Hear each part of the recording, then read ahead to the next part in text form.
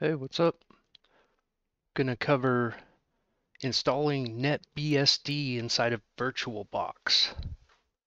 And if you're good with other virtual machine programs, then you could probably abstractly apply this as well. I think I've installed NetBSD maybe once, installed Minix a couple times that somewhat uses uh, NetBSD for the user land stuff. So uh, I'm not super versed in it, but I was at this page and school college course is based on um, NetBSD. That's what they use. So I thought, uh, I'll I'll install it again, whatever, kick it around again. So I thought I'd share that process for people who maybe are trying to get into like checking out other operating systems and stuff like that. Maybe you've checked out Linux, maybe you haven't. NetBSD is really similar. Um, they're both a Unix-like. But of course, once you start getting down to the nitty gritty, some stuff tends to veer off and some stuff tends to overlap. There's a lot of BSD influence in Linux, and I'm pretty sure at this point there's even a fair amount of Linux influence in BSD. I thought I remembered some examples, but it's been a while. All right. So this is a Oracle VM VirtualBox Manager. You can just go to virtualbox.com or .org or whatever and whatever it is and download that. I have version 6. Um, the latest version 5 would probably be fine as well. If you happen to be one of the rare people that's still on a 32-bit computer, then you'll need to get the 32-bit version of 5 and you'll also make sure to get 32-bit versions of whatever operating systems you can, which is getting very hard these days. There's very few operating systems that are still 32-bit, but they're out there. And a lot of the, about half of the really good operating systems are still 32-bit. All right, so what I'm going to do is I'm going to click right here to create a new system. I guess I can click in one of these sections to kind of like steer where it gets created. And then I can name it, I'll just call it NetBSD since I don't have a lot of NetBSDs on here. It's a BSD, 64-bit. Okay, that all looks good. Um, this is where it's going to save like the virtual hard disk and whatever, which can grow easily to several gigabytes or more. So, um, you know, if that's an issue, you might want to place it somewhere else, or if you just don't like the default folder. There's a gigabyte of RAM. I noticed on this example over here that, of course, they click on this link right here to download the ISO image, and this is apparently the most recent one at this time of recording. They name it Apu, which I really like that. Uh, and yeah, that's the settings I just showed you there. So following along, just walk right through it. All right, they have enable IO APIC checked. Go ahead and create the virtual hard disk. So we have one gig of RAM, which should be totally fine for a lot of console stuff as long as you're not like just really trying to to run it hot. Um, otherwise, you might want to put two gigs or more, and especially if you plan on doing any graphical environments. All right, so now we've got this checked in the middle to uh, create a virtual hard disk. That's actually the next phase. So right here, we can see it says 16 gigabytes, but since it's dynamically allocated, you could just hit create, and that should be fine. 16, that's pretty good middle of the road for a little virtual machine or whatever. Um, I'm kind of cheap, so I just usually take them down to I mean, like I said, it's going to start at zero and just expand as much as it needs, but it doesn't automatically contract. So I'm just going to set like a reasonable limit so that if something goes wrong, if this virtual hard drive fills up um, and the drive that I have it stored on, I'd rather that the virtual hard drive, especially in this circumstance where it's like a throwaway machine, so to speak, I'd rather that that machine's hard drive filled up and crashed than my host system because if the host system drive fills up and crashes, then all the systems are going down most likely. Okay, so dynamic, go ahead and VirtualBox disk image. I did about seven and a half gigs. Okay, which should be more than double what we'll need for this little tutorial. All right, there it is. NetBSD powered off, blah, blah, blah. So what we need to do is we can either right click it and go to settings right there or just make sure it's highlighted and click settings right here. And that We'll take its sweet time and then we'll pop up another little window with if you need to correct any of that stuff. Um, these other tabs I'm just I think they're all cool for now. I'll give it two processors, whatever. And just leave everything else at the defaults. Because it usually will pick kind of sensible defaults, almost too safe a defaults usually. Like if you pick Linux, maybe it's 32-bit, I don't know. It will still pick IDE drives instead of SATA controller. So I just, I don't know. I feel like, really? So this hardware clock in UTC time, if you're on Windows like I am, then you'll probably want to uncheck that. If you're on Linux as your host system, then you'll probably want to leave it checked. Because Windows tends to use your local time and Linux tends to use the universal time. All right, 16 megs of video memory sounds good to me. I've got it on W, or excuse me, VMS VGA, which I think was added in VirtualBox 6. So you might have like VBox VGA, whatever. That should be fine.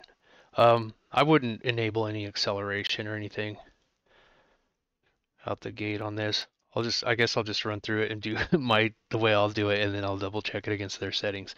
Okay, what am I looking for here? Where did I put it? I'm going to pause the video and find that. You'll hardly notice it. Hey, what do you know? It was right there, already in the right folder. Okay, so there it is. I have the NetBSD 9.2 AMD ISO. I, I'm pretty sure it downloads as ISO. Of course, if it doesn't, you need to unzip it. I downloaded it earlier. All right, so we have an IDE controller, should be fine. We have um, that in the disk, this the optical drive, and then we have this hard drive we just created. It's about seven and a half gigabytes and the actual size is only two gigabytes right now and it will of course dynamically grow. That's where it's at. Da da da da da. And you know in theory you could disconnect this and move it to another drive and then reconnect it all through this same interface and stuff. And that should be transparent to the virtual machine as long as you know everything's like this and not in a running state okay let's go over here and look what they have for this stuff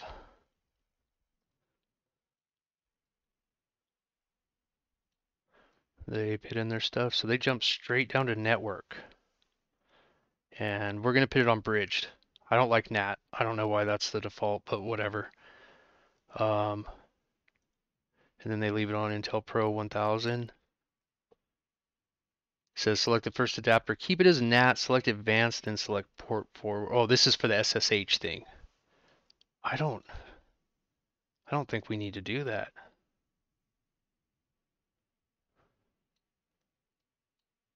Um, anyway, I always put it on bridged, if I remember. Click OK. Um, let's see what else there is, make sure. USB 2, kind of iffy. Hmm.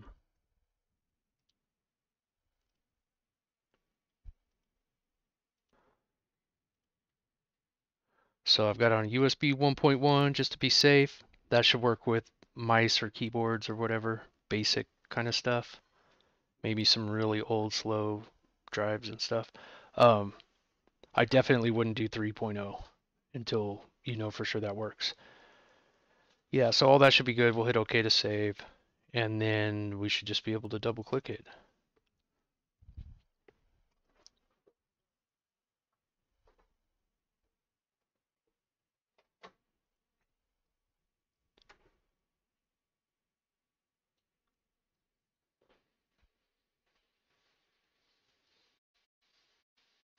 Oh, it looks like you can set like a permanent scale factor in there.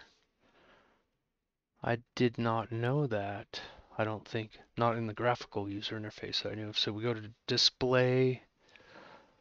Where's that at? Scale factor. I never, I've never noticed that. What a trip. So I can demonstrate how that could come in handy start your newly created VM, which we did here. Oh, it's so dumb when it does this. So the newest virtual boxes will pop up this select startup disk and it's like I've already manually inserted a startup disk. So I just really, this step didn't used to happen on the older versions. So it's annoying. I'm going to hit cancel. And then it looks like maybe it should detect that CD that I put in there. Okay. So we'll just let it do its thing. You could probably just hit enter. Only takes a few seconds.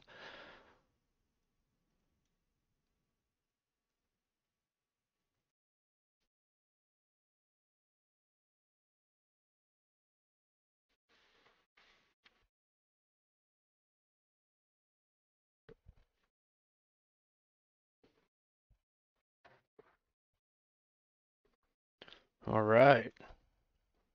Mouse doesn't work. If you happen to click on it and your mouse gets stuck in there, just hit the right control key or the equivalent on whatever system you have. That's called the host key in uh, VirtualBox. So like I could hit hold down the right control key and hit F and that goes full screen.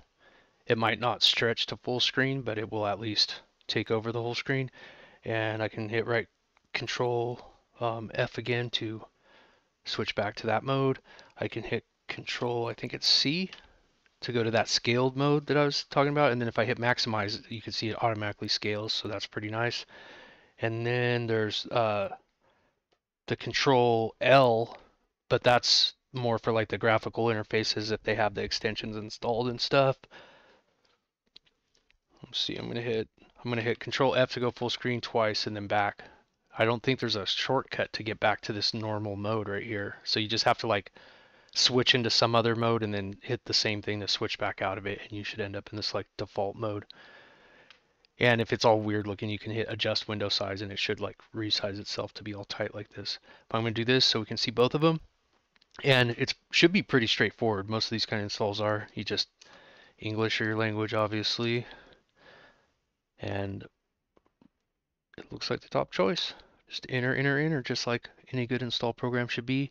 You have chosen to install it. This will change information on your hard disk. It's going to wipe stuff out is what it's telling you, or at least overwrite the configurations that might be there, right? So after you enter this information, but before your disk, you will have the opportunity to quit this procedure. Shall we continue? Yes. Looks like I have my screens. Like I was saying, you hit right control key to get the mouse back if it's trapped. I'm going to, uh, I'm going to hit right control C to get to the scale mode, then I'm going to do that. Okay, whatever. All right, so WD0, that's how uh, NetBS, modern NetBSD says your first hard drive on that controller, on that IDE controller whatever. So yeah, we'll pick that. Guide GUID partition table or master boot record. So GUID, that's going to be like more of that, um, the UEFI style BIOS thing. And the master boot record is going to be the whole rest of computer history before that. So basically, if your computer was bought after 2010 new, then there's like whatever percent chance, right, that it's you, like 100% chance probably that's UEFI. Um, but yeah, we're in VirtualBox, so it doesn't even really matter. Like we can even, we should be able to just do the old school one. Is this correct geometry? Sure. That's the worst thing they can do is ask math problems. Okay, edit the MBR partition table, use the entire disk, delete everything. I'm going to use the entire disk. Let's see what they say. Use the entire disk. Okay. Uh, they say default partition sizes. I'm going to set them. This is the thing that I was worried about. So this, I don't like this, especially in a virtual machine. Like for one, I don't like swap. How do I delete it?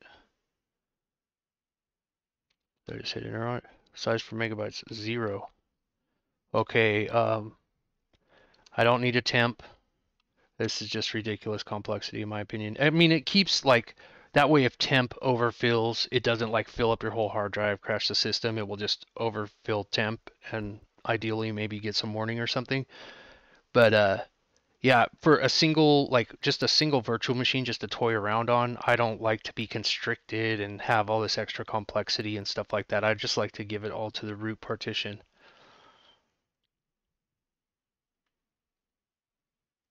And I guess it's this choice, go on free space, or...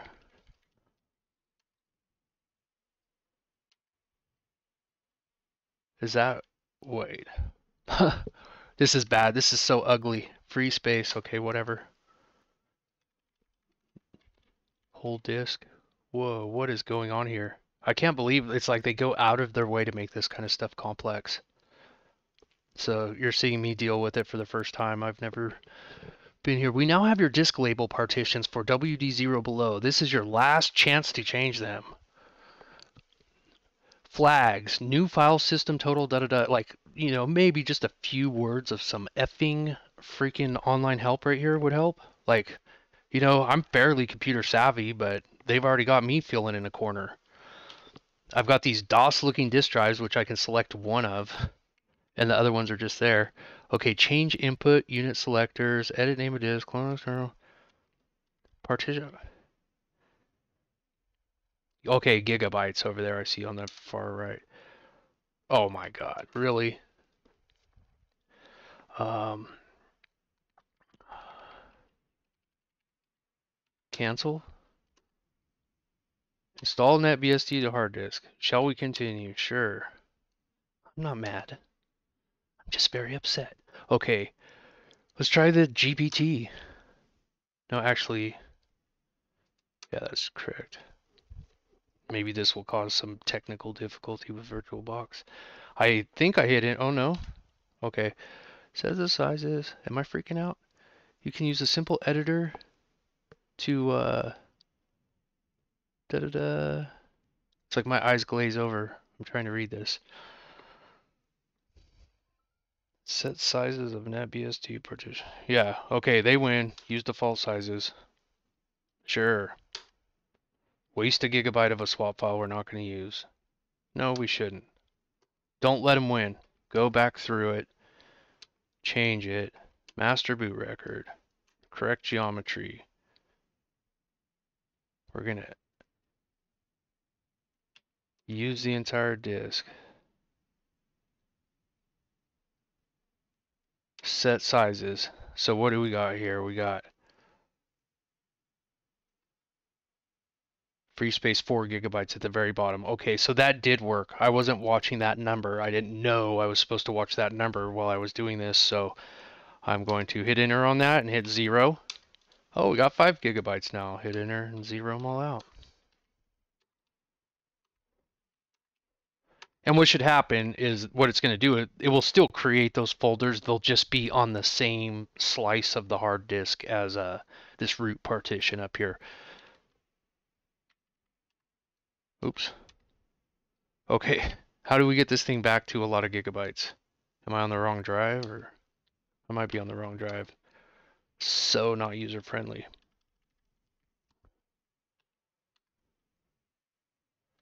And then what you have to do to cancel it is go on and then cancel it right here. I'd love to give somebody a free class on some user interface design, and I'm not even properly schooled on it. But a little bit of uh, common sense goes a long way, I've been told.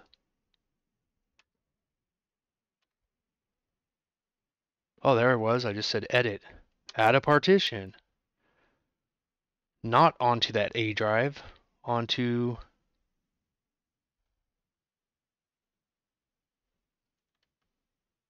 Wait, okay, those aren't A drives. Those aren't DOS drives. Those are shortcut keys that you can press with the keyboard, apparently. That makes sense now. Okay, change input units.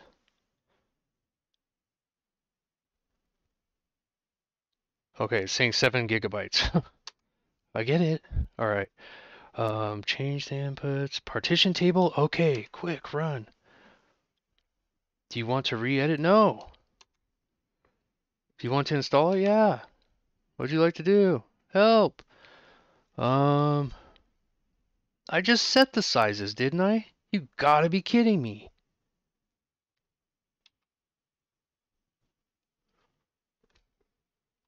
This is really good for getting the uh, that feeling that shitty feeling. That's why I wanted to make this video because I knew that like this could happen like this to people because I've been here a thousand times in the past, but I figured that I would take it a little bit more smoothly, but I feel like I'm taking it really bad, so I have to imagine maybe I'm helping a few people that are like really already have their hair ripped out and a couple holes in the wall next to them. Okay. Size in gigabytes. Okay, apparently it is in gigabytes because it's in parentheses, that 7. Maybe if they could put the F and GB right next to the 7, that would be a lot handier. Okay. Sure. No, free space, 5 gigabytes. So that's only 2 gigabytes. What? This why are they going to do that? That makes me think the size is 2 of whatever they mean, like some block format, and then gigabytes in parentheses is 7. Like, that's what I'm led to believe when I see that. But maybe they're telling me I'm using 2 of 7 possible gigabytes. So I'm going to hit 7 right here. Yay, 0 gigabytes free. Partition sizes are okay. They're the best they've ever been. Shall we continue? No. Yeah. Use BIOS console. No wonder I love Linux and hate BSD and never install it. Full installation, install without X. So XWin X11 is the windowing system. If you do an installation without it, then you'll just have the command prompt. So especially if this was a real virtual machine in the cloud, you probably wouldn't want X, what they call X. Um, but you might want parts of it because you can actually run X Windows from a remote machine really well, and you were able to for decades ago. Unlike Windows, where just in the last decade or two they finally got it together. Uh, Linux and these Unix likes have been really good at that. And then there's these minimal custom installations, which I have no idea. I can't tell you about a minimal. I because they don't tell you any detail, and I don't know anything. Um, I would assume that that would be just pretty much the bare bones with like some console text editor and stuff. So like if you really want to be on your own to like maybe even install networking, I don't know because they're so freaking vague that they feel like it's illegal to give somebody too much information here. I'm doing a full install. Install from uh, CD drive, right? We stuck a CD in there. But shouldn't it be smart enough to know all the Linux distros are by now to know that like okay, I'm going to install the core off the CD and then I'm going to hit the net if it's available to uh, do everything else. I guess I should read their directions. Your disk is now ready for installing the kernel and the distribution sets. Hopefully you know what those words mean. As noted in your install notes, you have several options. For FTP or NFS, more words, hopefully you know what they mean, you must be connected to a network with access to the proper machines. Sets selected 16 process 0 next set current what? My god, who does this make sense to? Like, is there like three people on the planet that speak this language?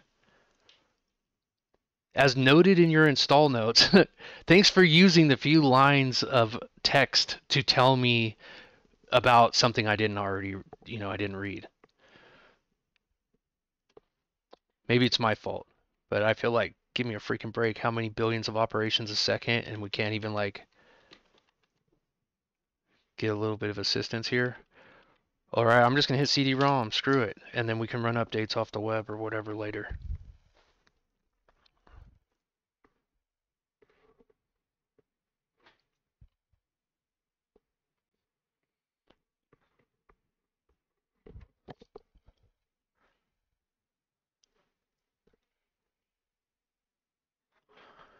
All right, I'm gonna pause it, maybe. I'm going to call me maybe. It looks like it's going fast. I have to imagine what is it getting? Comp.tar?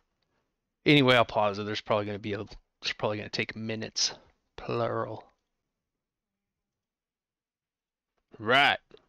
The extraction of the selected sets for NetBSD-9.2 is complete. The system is now able to boot from the selected hard disk, or so they think. To complete the installation, sys inst will give you the opportunity to configure some essential things first. Hit enter to continue. Okay, I'm going to drag the bottom of this up a little bit and see if I get a little better of a ratio. Okay, configure the additional items as needed. Time zone is confuses me with VirtualBox. I always forget. So if my system's not in universal time, do they convert it to universal time for Linux? Uh, I don't think they do. So I'm just going to get this off of UTC. Or no, it's actually, yeah. What am I, Pacific? US? Is that the right one?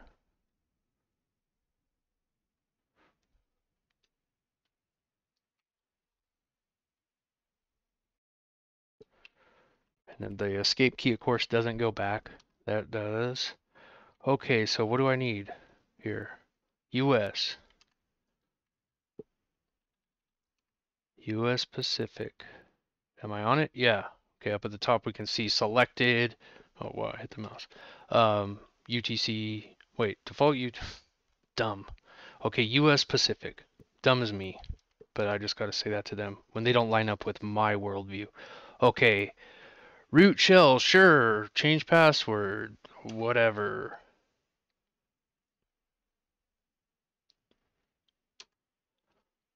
I usually just pick like a pin number for my little local virtual machines. Enter it twice. Wait. Trying to boss me around make you might have to enter it three times if you enter a short one like me. Today's just not my day. Yes. Um, enable installation of binary packages. Yeah, I get. Do I click it? Um, enable binary package with pkgin, which is their package manager, um, or package-in. I think it's short for package installer. Requires so clever. Uh, setting up the repository. The following are the host, directory, user, and password that will be used. Quote unquote user is FTP, then the password is not needed.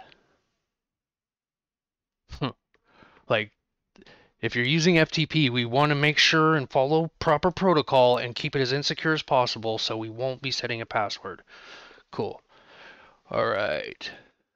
By the way, use SFTP if you're still in some content management world or something. If you're using FTP, if your people are using FTP, I don't know what to tell you. Just click thumbs down on my video and go somewhere else. Or watch all my videos, one or the other. I love you. Okay, seriously. Um, why are you looking at me like that? All right. Base directory.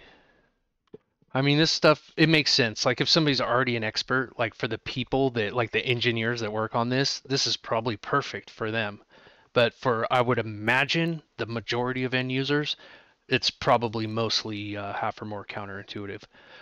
So, user, and Linux isn't a much better, but Linux definitely has a more human element to it.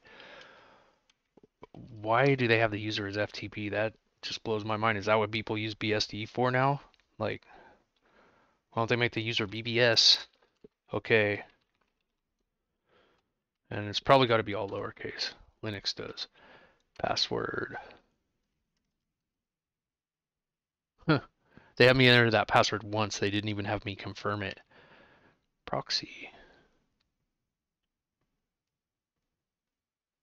Oh, wow. I'm putting in info for their uh, user FTP. Wow. I thought this was the setup for the freaking virtual machine. I didn't realize this. I wasn't getting it. I was thinking that they were saying that, you know, if I wanted to use this virtual machine as an FTP server, I could have a user FTP. And it's like, oh, now I get it. Like, they're trying to. Uh, I don't know. When I record videos, in all honesty, I go like half or more dumb, but for some reason I don't get it. But anyway, um, so that's probably a big factor. I imagine it's pretty obvious to everybody else. But anyway, let's see if I didn't screw it up too bad. I should just just hit enter. Hit enter to continue. That's bizarre looking. Package edition failed. screw it up. Quit installing binary packages. This is not working. No, these are daemons for uh, which is services and Unix speak for SSH, which is a remote console. That's like this. Um, I can't remember what NTP stands for. Network Time Protocol. I think that's to set the clock. Yeah, this must check it at boot. I can't remember what these things are. That's X Display Manager, I believe, which is your auto login So if you want it to like automatically start X Windows, then you would enable that and that would ask you for your login info in the X Windows interface instead of at the console, like a prettier look. LVM's for uh, multiple, it's a sort of like, it's not RAID, but it's like if you want to like drag volumes across multiple partitions and stuff, it's just, if you needed it, you'd know it. Enable RAID frame. That's weird. That's by default. Okay, maybe I should have left it. Add a user? No, I'm scared to now. Uh, I'll say finished.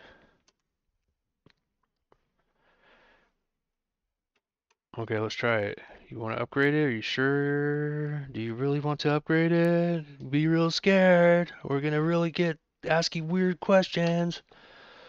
Which disk do you want to upgrade? Give me a break.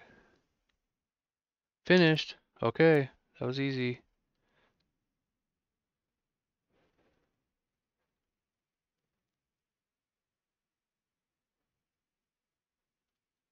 Why am I here? Why is it back to this?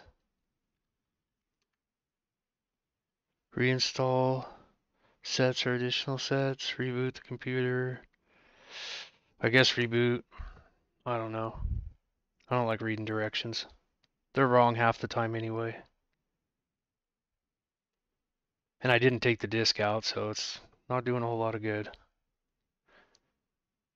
So what I can do is I can hit Control C and get back to that menu and then go to Devices, Optical, remove disk from virtual drive. And then who cares what they're doing, I'll just reset it. Because it's probably trying to boot off the disk, I'd imagine. Okay, so this should be the, the actual hard drive. You can see down there, there's nothing in the CD drive. It's grayed out. There it goes. I was wondering why that little indicator light wasn't kicked on.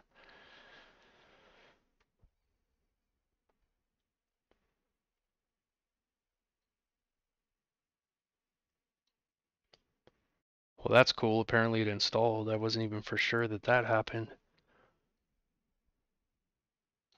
I don't know why he wants us to run all this SED stuff. If you're connected to IP6 network,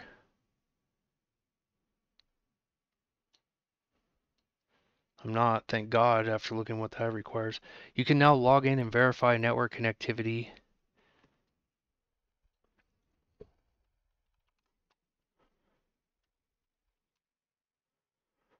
All right, and we verify that network connectivity with the old school ifconfig. If you're OG Linux, you'll remember that one. Minus A. All right, what do we see here? We've got the loop back and we've got our uh, our other thing, WM0, huh? Was that wireless? Eth Ethernet? I call it Ethernet. I don't believe in ether. And isn't it ironic that wireless runs on the ether and Ethernet runs on the wire? Anyway, you could say that I kind of think about stuff sometimes.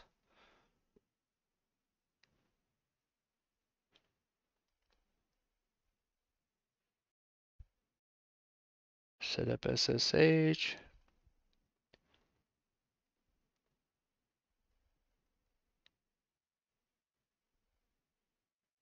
Set up your C development environment. That's what we want.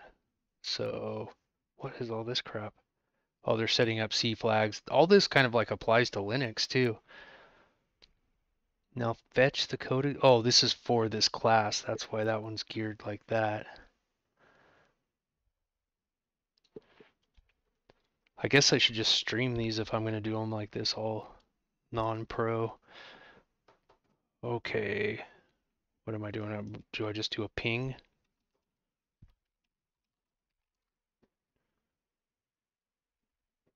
DNS isn't set up. All right, so there's NetBSD, and here's how you remove your NetBSD virtual machine. When you're just over it, you just power off the machine, and you go in here, and you just right-click it, and say remove, you say delete all files to make sure and delete that stupid hard drive. You don't want that around, probably. And then there, it's gone, and we can just forget about it. Ah, look at that. And then we can just boot back into like Debian or Arch or something real, a real man's operating system, as a woman might say. And, you know, then we just remember. That's why I, I like to install a lot of operating systems so I can remember why I use the few that I do, which includes DOS. So NetBSD is losing out over DOS with me right now.